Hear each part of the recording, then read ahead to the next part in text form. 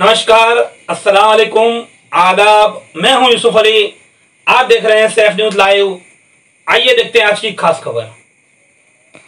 दोस्तों, आज की खबर है वह खबर महाराष्ट्र में जारी राजनीतिक उठापटक को लेकर।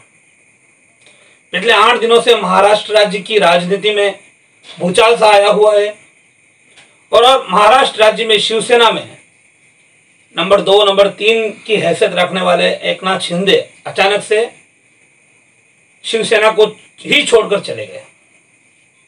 और जाने के बाद भी एक नाथ शिंदे बोलते कि मैं असली शिवसैनिक हूँ। तो ही उद्धव ठाकरे मुख्यमंत्री बोलते, मेरी शिवसेना असली शिवसेना है। एक नाथ शिंदे चले गए, अपने साथ उनके अलग अलग दावे हैं। कभी कहते हैं, तीस विधायकों का समर्थन है, कभी चौवालीस विधायकों का समर्थन है। इस तरह से आठ दिनों से उनकी अपनी राजनीति जारी है। गुवाहाटी, असम की राजधानी गुवाहाटी में एकनाथ शिंदे गुट पूरा वहाँ पर रुका है।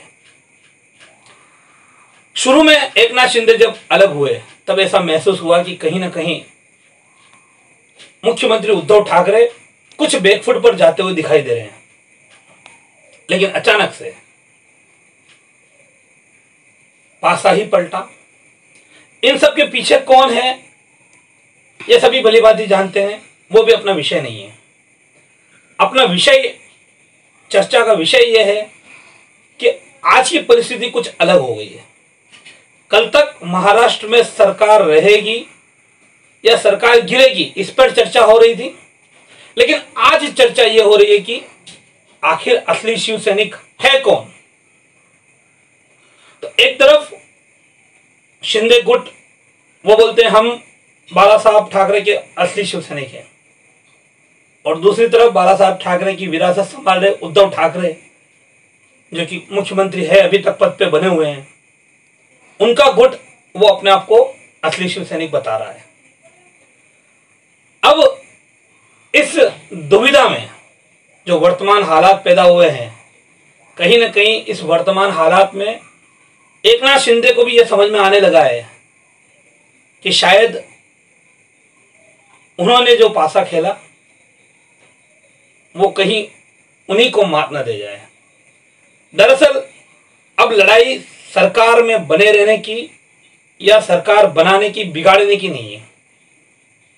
अब लड़ाई है असली शिव सैनिक कौन? मैं भी बता रहा था कि कल तक यही चर्चा थी कि महाराष्ट्र में सरकार रहेगी, नहीं रहेगी। एक नाथ शिंदे बार बार प्रेशर करते हुए उद्धव ठाकरे को ये कहते हैं कि, महाविकास आघाड़ी से आप गठबंधन तोड़ दो और भाजपा से गठबंधन करो और हम शिवसेना से अलग होने वाले नहीं हैं। लेकिन उसके बावजूद भी वो उद्धव ठाकरे की बात सुनने को तैयार नहीं है। वहीं दूसरी तरफ़ उद्धव ठाकरे, उन्होंने सोलह विधायकों को अवैध अयोग्य घोषित करने की मांग पत्र तक विधानसभा उपाध्यक्ष को दे दिया है। तो ये एक परिस्थिति है। लेकिन जमीनी स्तर की जो परिस्थिति पैदा हुई है, वो काफ़ी विकट है। दरअसल, अब ऐसा दौर आ गया जब खुलकर लोग शिवसेना या एकनाथ गुट दोनों का समर्थन कर रहे हैं तो दोनों के विरोध में और पक्ष में बयानबाजी कर रहे हैं। कहीं पे एक नाथ शिंदे गुट के बैनर और पोस्टर लगाए जा रहे हैं तो वहीं पे उन पोस्टरों पे कालिक पोती जा रही है।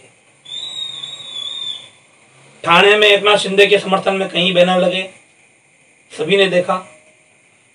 थाने जैसे ही पालगढ़ ज़िले के बोईसर में एक नाथ शिंदे के समर्थन में पोस्टर लगे, लेकिन उन पोस्टरों पर उद्धव ठाकरे के समर्थक शिव सैनिकों ने कालिक पोत दी। और वहीं, अब जब एकनाथ शिंदे का ऐसा समर्थन कुछ लोगों ने किया, तब उद्धव ठाकरे समर्थकों ने अपने मुख्यमंत्री, अपने नेता के पक्ष में समर्थन में सड़कों पर उतरकर, सड़कों पर उतरकर बहुत बड़ा शक्ति प्रदर्शन किया। तो इसी शक्ति प्रदर्शन की एक झलक वसई विरार में दिखाई दी, जहाँ हज़ारों की संख्या में शिवसैनिक सड़क पर उतर आए। कार बाइक वाहन, जो साधन उनको मिला, उसमें चढ़े और मुख्यमंत्री उद्धव ठाकरे के पक्ष में बयानबाजी की। वहीं शिंदे गुट को के खिलाफ बयानबाजी करते हुए सबक सिखाए जाने की बात कही। तो अब मामला सरकार के रुकने और बचने से कहीं ज़्यादा शिवसेना के रुकने और बचने का यहाँ ज़्यादा दिखाई दे रहा है। अब आने वाले समय में ही पता चलेगा कि असली शिवसेना कौन है और जो बागी विधायक है, उनकी आगे जाकर भूमिका क्या रहती। है आप वीडियो में देख सकते हैं, जो वीडियो तस्वीरें आपको दिखाई दे रही है, कुछ तस्वीरें वसई विरार की हैं, जहाँ पर बाइक रैली निकाली जा रही है, उनको लोग संबोधित कर रहे हैं। तो ही आगे कुछ तस्वीरें बोईसर की है, जहाँ एक नाथ शिंदे के पोस्टर के ऊपर कालिक पोती गई है। और उसको लेकर बयानबाजी जा रही है।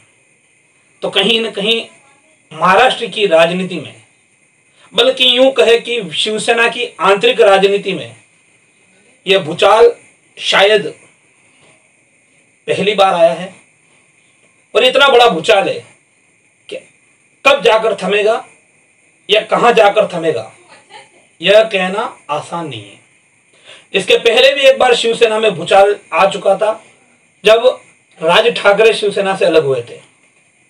लेकिन तब भी, तब बाला साहब ठाकरे थे मौजूद, और शिवसेना को उतना फ़र्क नहीं पड़ा जितना राजनीति राज ठाकरे सोचते थे, समझते थे। क्या आज की परिस्थिति वैसी है? ये एक बड़ा सवाल खुद उद्धव ठाकरे के मुख्यमंत्री के दिमाग में घूम रहा है। तो आप वीडियो में देखिए किस तरह से क्या हालात किस तरह से रेलें निकाली जा रही है और किस तरह से पोस्टरों पर कालिक पोती जा रही है। अभी लिए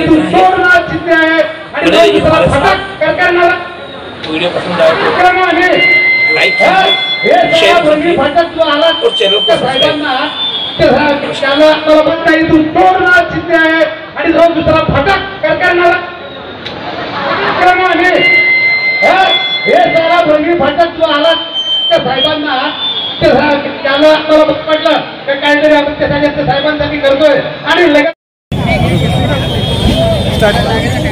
इस समय एक नाथ शिंदे के खिलाफ बागी विधायकों के खिलाफ जिस तरह शिवसेना में अपना आक्रोश व्यक्त किया जा रहा है। क्या कहना चाहिए ज़रूर शिव रस्ते के शिवसैनिक ही इनको आमदार, खासदार, मंत्री बनाते।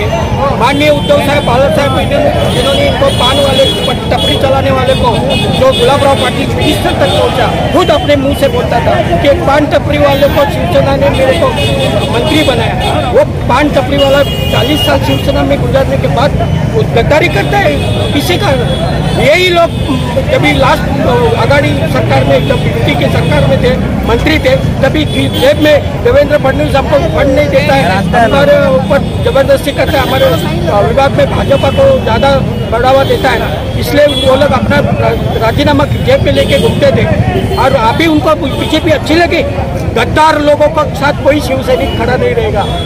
हमेशा हमारे लिए मंत्री आमदार में मायने नहीं रखता है। इस वसई तालुका में शिवसेना का आमदार कभी चुन के नहीं आया, लेकिन आज भी हज़ारों शिव सैनिक शिवसेना के साथ जुड़े हुए हैं। ये कारण है मातोश्री का ये कारण है वो बाला साहब के नेतृत्व का ये कारण है उद्धव साहब का नेतृत्व का। आज महाराष्ट्र के लोकप्रिय मुख्यमंत्री, जिसको जब वर्ल्ड के मीडिया ने सराहना किया उनका आप हिंदुस्तान में एक नंबर के मुख्यमंत्री माना गया उनको आज तुम ब्लैकमेल कर रहे हो।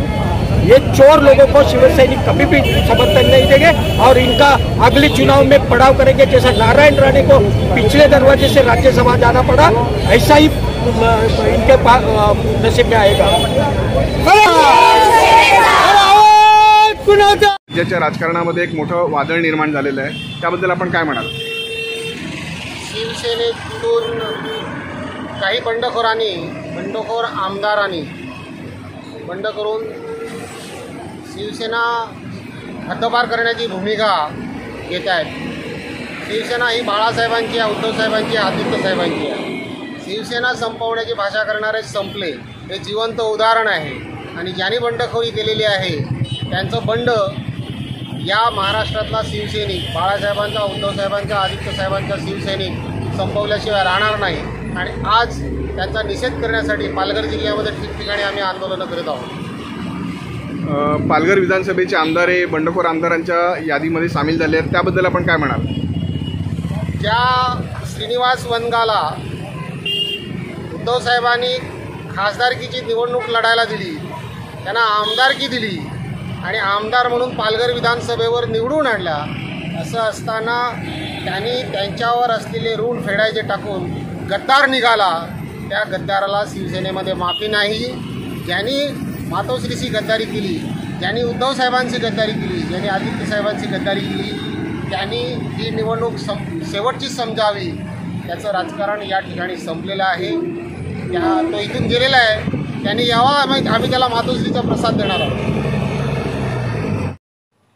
हमारे चैनल सेफ़ न्यूज़ लाइव पे अपने व्यापार एवं सेवा से संबंधित विज्ञापन हेतु mobile number seven three eight five nine five two seven eight six अथवा seven seven three eight two six seven seven eight six पर संपर्क करें।